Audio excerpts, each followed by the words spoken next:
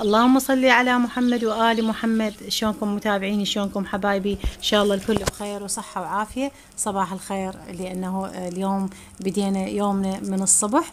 آه، متابعة ممتعة وفيديو إن شاء الله يكون آه، خفيف عليكم. آه، شنو سويت وشنو اشتغلت؟ كالعادة مثل كل ربات البيوت نبدي بتنظيف وطبخ وغسل مواعين وإلى آخره من هذه الأشياء. هسه مثل ما جاي تشوفون آه، اليوم غسلت الطارمة اللي قدام البيت مالتنا. آه، غسلنا ونظفنا وهاي الأشياء وبعدين آه، إن شاء الله ننتقل للطبخ. وطبختنا اليوم شوي غريبة بس إن شاء الله هي طبخة طيبة وجدا مفيدة. أتمنى يعني هذه الوصفة مالتي اليوم تعجبكم.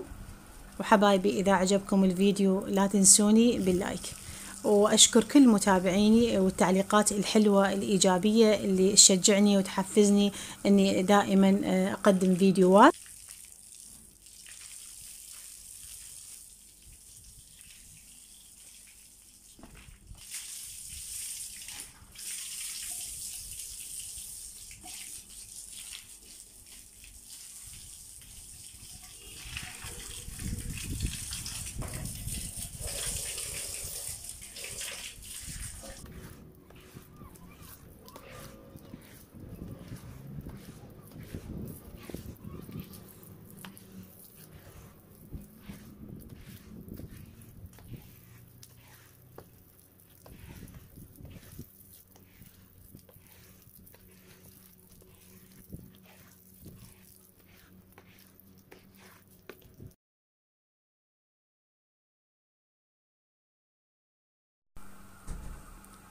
هسه مثل ما جاي تشوفون هاي طبختنا اليوم هي كرات اللحم بالبوتيتا أو البطاطا.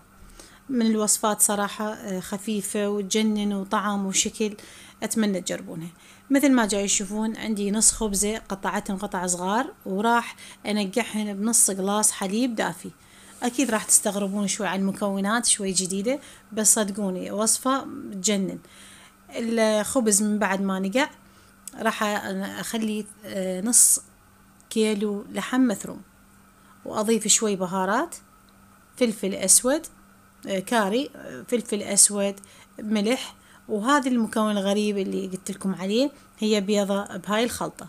أضيف البيضة. أبد ما راح يصير أي زفرة وراح تخلي اللحم يتماسك. يعني بالقلي عندي راح يصير اللحم آه، متماسك وكرة بكرتها صدقوني جربوها وما راح تندمون أبد. آه، من الوصفات الممتازة يعني وطعم وشكل ما أقلكم عليه. وأحب أقول إنه آه، إذا ما عندك خبز آه، صمون نقعي عادي. قطع توست ما يفرق أبد. هسه أجي أشكل كرات هيجي دوائر. أو تحبون يعني طوال مثل الكباب يعني اللي تحبينه. يا أما دوائر يا أما على شكل طولي. بس هسه أنا خليتها على شكل دوائر. بهذا الشكل الحجم اللي انت تحبينه.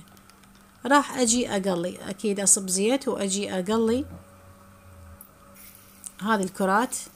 راح تشوفونها ابد ما راح تلتصق ولا راح تفتل عندك ولا آه مثل ما نقول يعني هيجي آه تتفتفت لا. راح تظل متماسكة. هو البيض اللي راح يخليها متماسكة. لا تقولوا لي زفرة ابد ما بها أي زفرة يعني جربوها وحكموا عليها.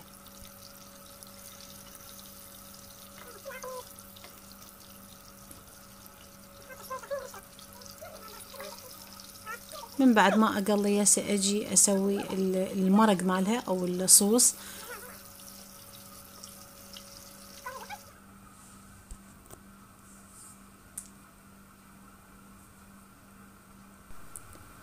هسه راح آه، استوى عندي هاي الكرات اللحم.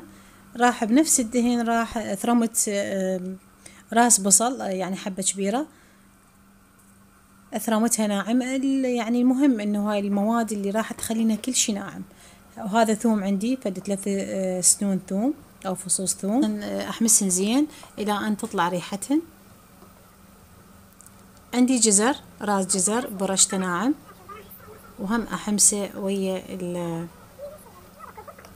البصل والثوم. اللي تشوفون إذا الزيت هواي لا تشيلون من عندي لأن هي الطبخة أصلا دسمة يعني بيها لحم بيها زيت. معجون معجون الطماطة راح أحمس آه، وياه أريد تطلع ريحته. وهاي خليط الطماطة خلطت. طبعا شلت القشر من عندها. مهم إن تشيلين القشر لأنه يصير فد شكل بالمرقة يعني. واحد ما يحب هالشي ما يستسيغه بهارات خليت كاري مشكل وفلفل أسود. ودارسين. أجي أحمس المواد سوية وأضيف لهن شوي ماي أخلي هاي المواد تنخلص سوية. باعتبار عندي اللحم مستوي وهسه تشوفون البوتيتة سلقتها وقليتها مستوية فما محتاجة طبخ هواي هاي البوتيتة سلقتها وقليتها. المرقة كملت عندي والثخن انتي اللي تتحكمين بيه. بس عني خليتها شوي ثخينة لأن هي أطيب تصير شكل وطعم. هسه راح أتركها تقريبا عشر دقايق ربع ساعة ورشيت أكيد عليها ملح. وهذا أخير شي شوي دارسين هسه راح أترك هاي الطبخة إلى أن تستوي أو تسبك يعني المواد السوية. تأخذ الطعم هسه راح أتحول أطبخ تمن. أكيد هيجي طبخات نحب يعني يمكن إحنا العراقيين أكثر شي نحب تمن الشعرية وياها.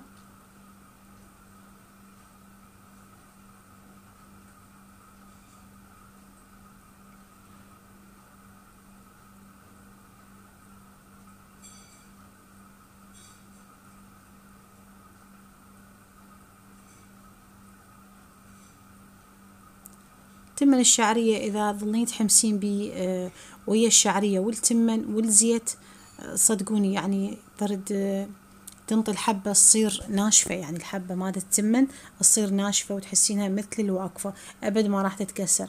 أحمسها أقليها زين وأصب الماي الحار عليها وأنتظرها إلى أن تستوي. وانتظروني بالتقديم النهائي. إن شاء الله وصفة اليوم عجبتكم. إن شاء الله وتقدرون تطبقونها وتندعوا لي.